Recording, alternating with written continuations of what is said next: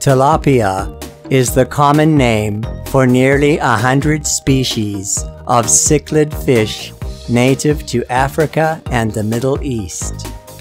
Tilapia are mainly freshwater fish inhabiting shallow streams, ponds, rivers, and lakes, and less commonly found living in brackish water. Traditionally, they have been of major importance in small scale, low technology fishing in Africa, and they are becoming increasingly important today in aquaculture and aquaponics. The aquaculture of Nile tilapia goes back some 4,000 years to ancient Egypt, and glyphs of tilapia are painted on their tomb walls. Tilapia were also one of the principal types of fish caught in the Sea of Galilee. Today, tilapia have been introduced throughout the world and are now farmed in over 135 countries, with China being the largest producer. There are three main species of tilapia currently being farmed for consumption. They are the Nile or black tilapia, blue tilapia, and Mozambique or red tilapia.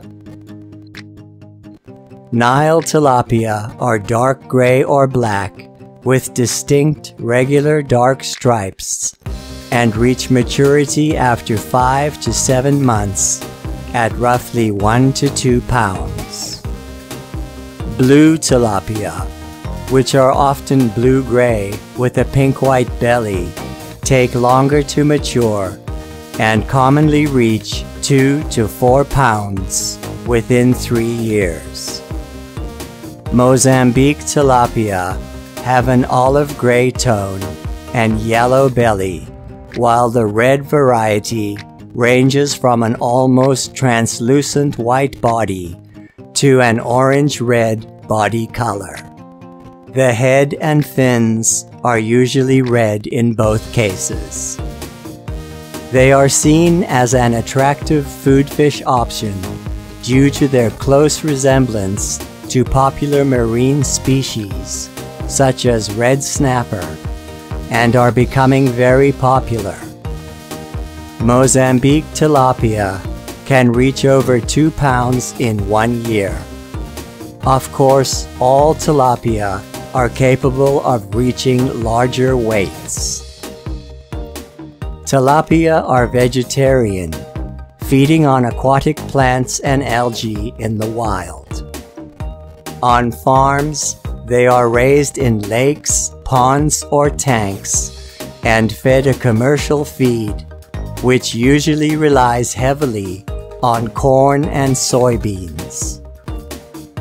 Indoor tanks are used exclusively where temperatures are too low for breeding and rearing.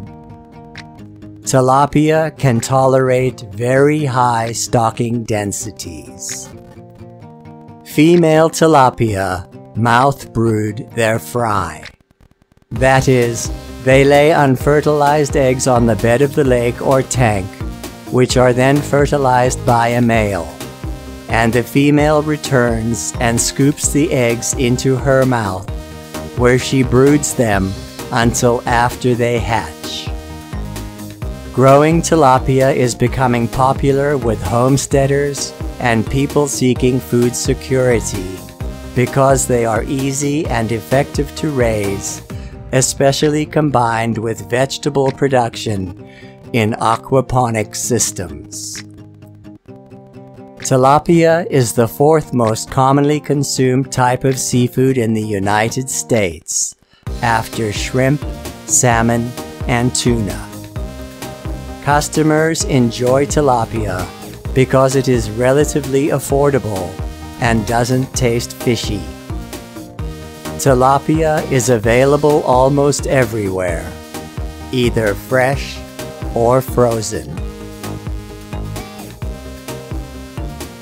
If you enjoyed this video, Please subscribe, like, and share. Don't forget to click on the bell icon so that you'll be notified whenever a new video is posted.